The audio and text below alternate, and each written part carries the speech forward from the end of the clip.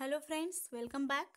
तो friends, last lecture में हमने देखा था सी स्टार का डाइजेस्टिव सिस्टम और आज हम देखने जा रहे हैं इसका डाइजेशन किस टाइप का होता है। तो चलिए स्टार्ट करते हैं।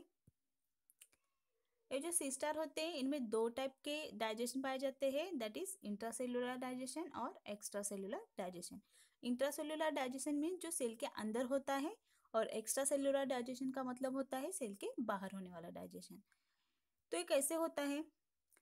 इसका जो डाइजेशन होता है, वो स्टार्ट होता है उसकी फीडिंग मैकेनिज्म के साथ।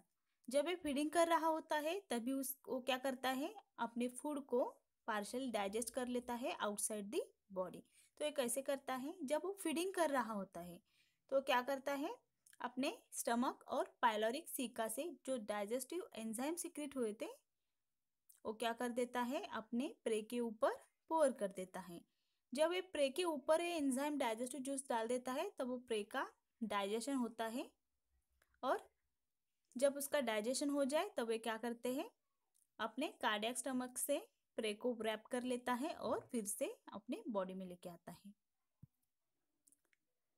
जब ये अपना डाइजेस्टिव एंजाम प्रे के ऊपर पोर कर देता है तो प्रे के जो बॉडी पार्ट्स होते हैं उसका उसका कन्वर्जन हो जाता है प्रोटीन का पेप्टोन में स्टार का माल्टोज में फैट का फैटी एसिड एंड ग्लिसरॉल में.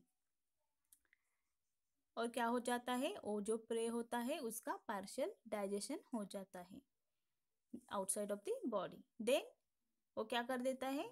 अपने स्टमक से उसको रैप कर लेता है and with the help of retractor muscle वो अपने स्टमक को विदड्रॉ करता है इनसाइड द बॉडी जो रिमेनिंग डाइजेशन होता है, जब पहले से वो पार्शियल डाइजेस्टेड फ़ूड अपने बॉडी में लेता है स्टमक में लेता है, जो बाकी का कुछ बचा हुआ डाइजेशन है वो उसके स्टमक में और पायलोरिक सिका में होता है।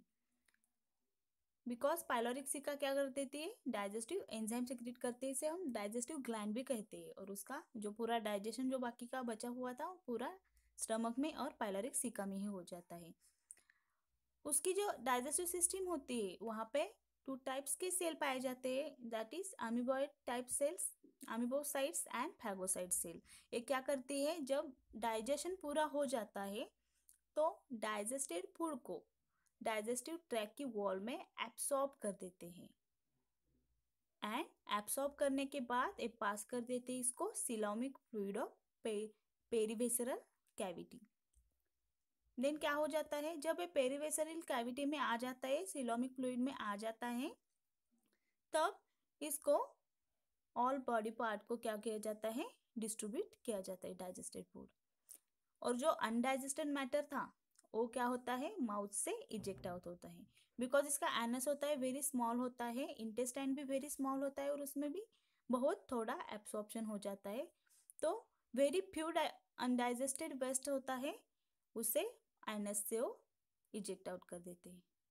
तो फ्रेंड्स ये था सी स्टार का डाइजेशन अगर ये वीडियो आपको पसंद आई हो तो प्लीज़ मेरे चैनल को लाइक कीजिए शेयर कीजिए कमेंट कीजिए और साथ में सब्सक्राइब कीजिए।